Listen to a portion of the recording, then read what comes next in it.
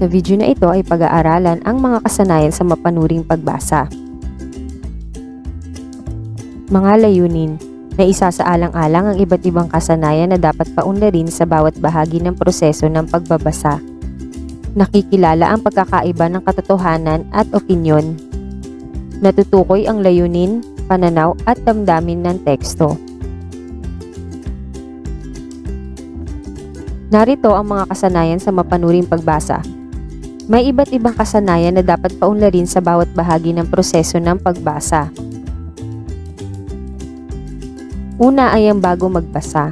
Sinisimulan sa pagsisiyasat ang tekstong babasahin para malaman ang tamang estratehiya sa pagbasa batay sa genre ng teksto. Pinakapalooban ito ng previewing o surveying ng isang teksto sa pamamagitan ng mabilisang pagtingin sa mga larawan, pamagat at pangalawang pamagat sa loob ng aklat. Pangalawa ay habang nagbabasa, sabay-sabay na pinagagana ng isang mambabasa ang iba't ibang kasanayan para lubusang maunawaan ang teksto. May mga prediksyon bago magbasa ang pinangahawakan para panatilihin ang fokus sa aktibong pag-unawa sa binasa. Kabilang sa mga pamamaraan para maging epektibo ang pagbabasa ay ang pagtansya sa bilis ng pagbasa, visualisasyon ng binasa, pagbuo ng koneksyon, paghihinuha, pagsubaybay sa komprehensyon, muling pagbasa, at pagkuha ng kahulugan mula sa konteksto. Pangatlo ay pagkatapos magbasa. Sa kasanayang ito, maisasagawa ng isang mambabasa ang pagtatasa ng komprehensyon, pagbubuod, pagbuo ng synthesis at evaluasyon para maipagpatuloy ang malalim na pag-unawa at pag-alala sa teksto. Pang-apat ay pagkilala sa opinyon o katotohanan.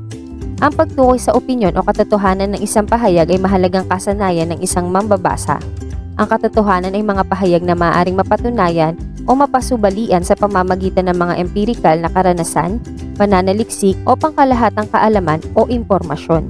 Ang opinion naman ay mga pahayag na nagpapakita ng preferensya o ideya batay sa personal na paniniwala at iniisip ng isang tao.